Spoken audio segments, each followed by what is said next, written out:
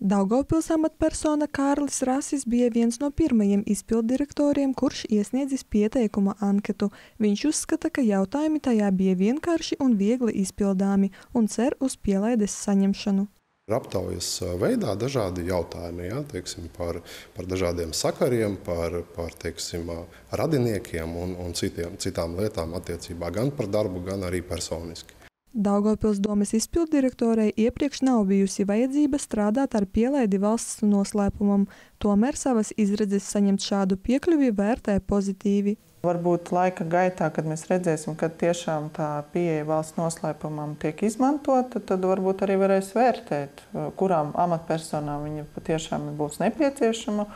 Un varbūt pēc pāris gadiem arī veikt grozījumus. Pieteikumus iesnieguši arī Krāslavas novada izpildirektors ar komandu Rēzeknes pašvaldībā un Augstdaugavas novada amatpersonas, tiesa arī kritizējot jauno kārtību. Demokrātiskā procesā, tad, kad cilvēkiem ir iedota iespēja izvēlēties sev domes priekšsēdētāju vai deputātu, vai būtu pareizi pēc tam kādai institūcijai lemt, vai viņam vajag vai nevajag pielaidi valsts noslēpumam.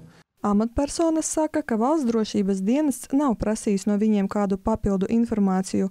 Dienestā LRT Plus precīzāku skaitli, cik no pašvaldību amatpersonām ir iesniegušas anketas, nesniedz.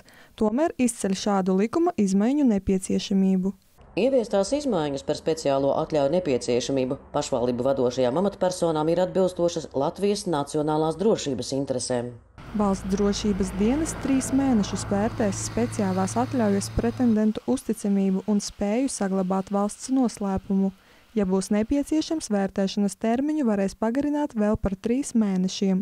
Ja būs tādi, kuriem pielaides netiks piešķirtas, vietvarām būs jādomā, kā rīkoties tālāk.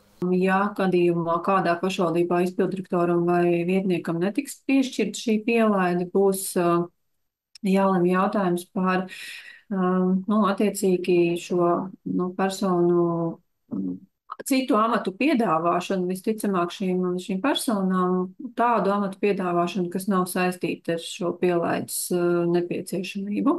Vietvaru izpildirektoriem un viņu vietniekiem pieteikums valsts drošības dienestā bija jāiesniedz līdz 1. jūlijam. Savukārt pašvaldību domju priekšsēdētājiem un viņu vietniekiem pielaidēm valsts noslēpumam būs jāpiesakās nākamgad pēc vēlēšanām. Liene Virza, Jevgenijs Ratkovs, LRT.